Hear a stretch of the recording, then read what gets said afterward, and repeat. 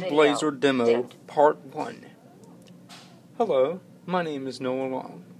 I am a student here at the Governor Morehead School for the Blind, here today to demonstrate the Braille Blazer, the Stop compact embosser from Freedom Scientific. The Blazer is about the size of an HP standard printer, and it uses 8 by 11 inch fanfold paper for embossing purposes. Um, I got this unit because I thought about teachers that didn't have embossers and realized I could do a part in their roles of getting their work embossed for their students. And once I realized that my note taker was compatible with this unit, I was kind of appreciated by the fact that this would really work and make it easier for me to do embossing of work. What we want to do first is turn on our Blazer and show you the configuration menus before we look at embossing. To turn on the Blazer, locate the rocker switch nearest the back of the unit uh, and push it forward towards you. Once you push it, the carriage moves from left to right, then the paper inside your Blazer is going to move back and forth, and the unit will say, Braille Blazer, ready. It sounds like this.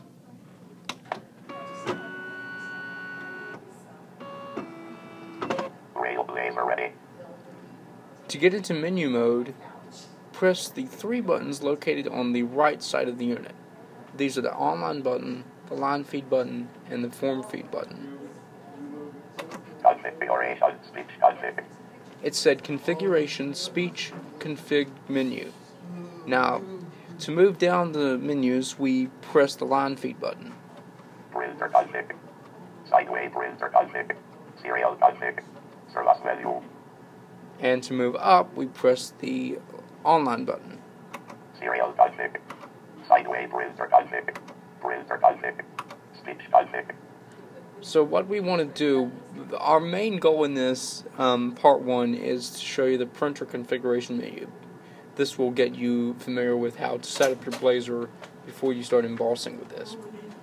Morning. Um, so let's go to printer configuration menu Printer config. And press the form feed button, which is our select button. Port parallel. Port parallel.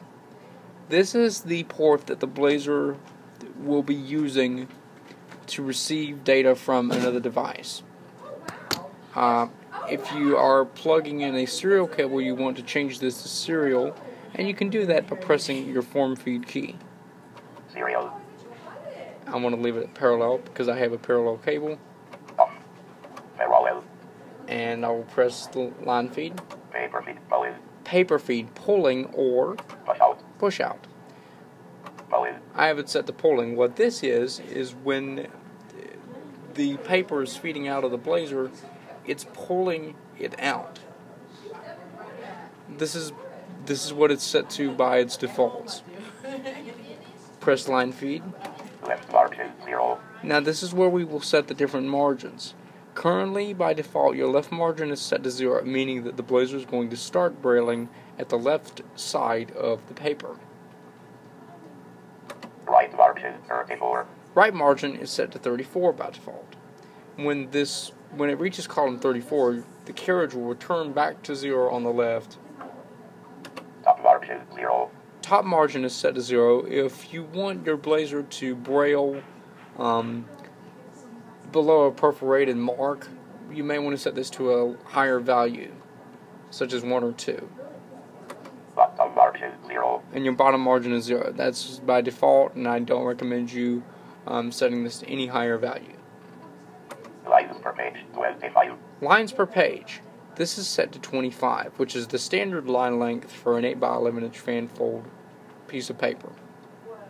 Page length in inches 11. Page length in inches, 11. This is the standard page length for the paper that is being used.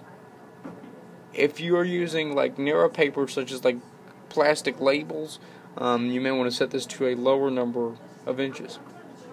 At two page length eighth of an inch zero. Add to page length eighth of an inch. This is currently set to zero by default. Word wrap off. Word wrap is turned off. Paperweight heavy. Paperweight heavy. We have three options. We have heavy, Plastic. plastic, Light. or light. Let's set it to heavy. USLA. And line fee again. Character set US ASCII. Character set, US ASCII. This is the standard character set on the Blazer. If you're browsing in a different language, however, you may want to set this to the character set of the, the appropriate language you're going to braille. Paper out detector on. Paper out detector on.